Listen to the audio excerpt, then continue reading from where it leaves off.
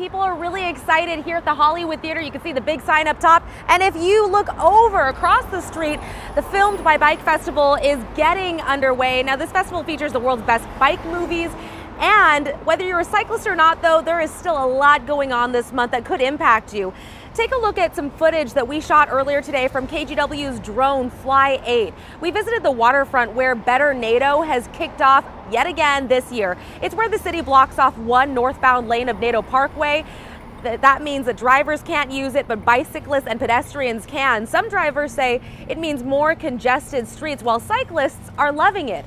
Lori Prinz usually doesn't bike, but she decided to take advantage of Bike Town's promotion this month. People can ride for free for the first 90 minutes. She says she can see both sides when it comes to opinions about the Better Naito project. It's all right. You know, as a commuter, it kind of, you know, it slows the traffic down, but it is it is nice for the bikers.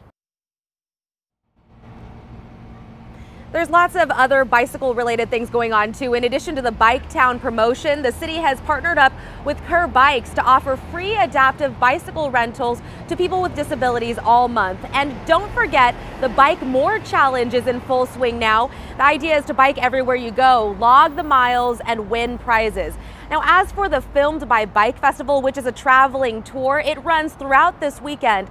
We'll post all the links to what we talked about and really what's going on bike related in the area on our website, kgw.com.